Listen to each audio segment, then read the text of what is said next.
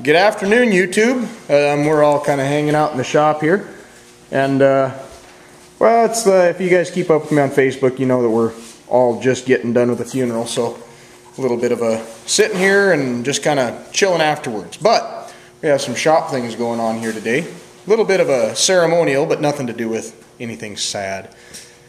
But, uh, anyway, so I got a little bit of viewer mail as you can see. So we're going to go ahead and open this up and we'll go ahead and read the letter. And this letter is sent to me by Andy. So, Roman, would you read me a letter?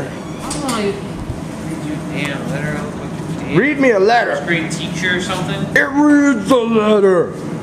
Show the pictures. Show the pictures. Andy sends me pictures of his tractors. He's got a Cub Cadet identical to mine, but without the modifications for the blade and stuff. Actually, a pretty cool looking tractor and looks like a it's a 5088 Case IH. Well, no, I take that back. It's not a Case IH. That's an international. Um, I'm sorry that you're driving an international tractor, but I wish Phil was here because he would make fun of me for having said so. I know. I wish. I wish uh, Phil were here too. Okay. It looks warm there. yeah, it's warmer here. Let's see.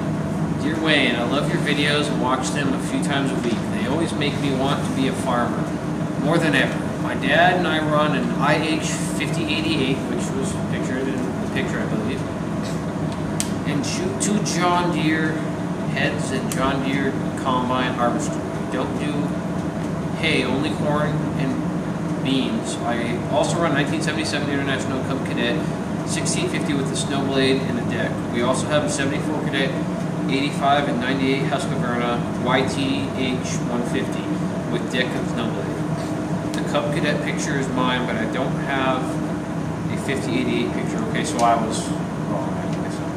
Oh. On YouTube, I have left many comments saying that I am lettered L3TTR, and I might even subscribe. Can't wait for more Cub Cadet 50 Cent International, hopefully Loadstar videos from your friend in Illinois, Andy, also known as letter L3TTR. Okay, so thank By you very way- much for. By the way, don't hesitate, just subscribe, dude. Yeah, don't be holding back there. Um, so, thank you, Andy, for the letter. I appreciate that. Now, it seems that Roman has made a small donation to the shop, some memorable items. I get a lot of questions about the little yellow Chevette. I uh, regret to say that uh, in the things that had to go, the Chevette was one of them. It just didn't uh, fit with the program. I really, it made us all kind of sad to keep it, but we got to keep a memento, something that Roman had been hanging on to, and that's a hubcap off of the Chevette. So, seeing that Roman has made his donation to the shop, Roman gets to choose the placement.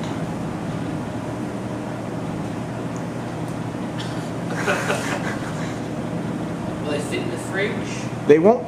No, we can't keep your headers free. Because, because then your international harvester will have headers. hey, we could bolt them to the side. Like, Run some stacks out Always the. talk about putting headers on the Bronco. If we just like bolt them to the rusty spots to cover it, like right, right here. That fits really well, doesn't it? Oh, jeez, that's funny. Imagine the look you get going down the road with the header sticking out the side of your. I like it. Ah, good lord. So we're going to have to ponder this and think about it.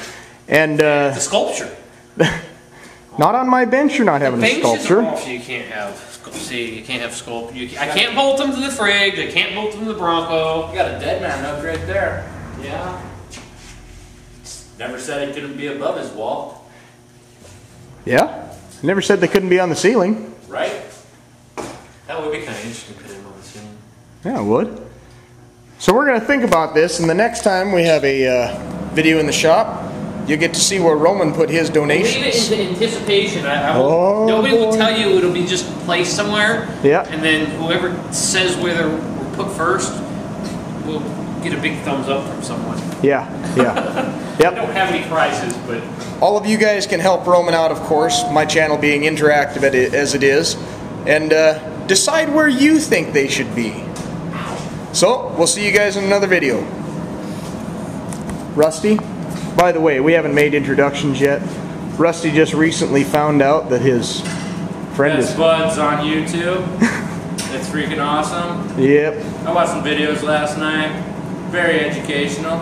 Mm-hmm.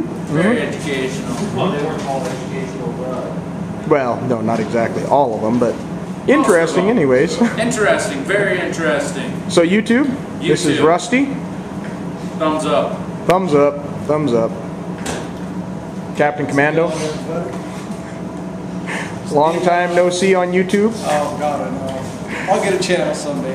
Yeah, Uh, actually, yeah. yesterday, What I'll talk yesterday, about. the day before, we were sitting in my house watching videos with you on. I have to I have to pan over in more anticipation because I get a lot of questions.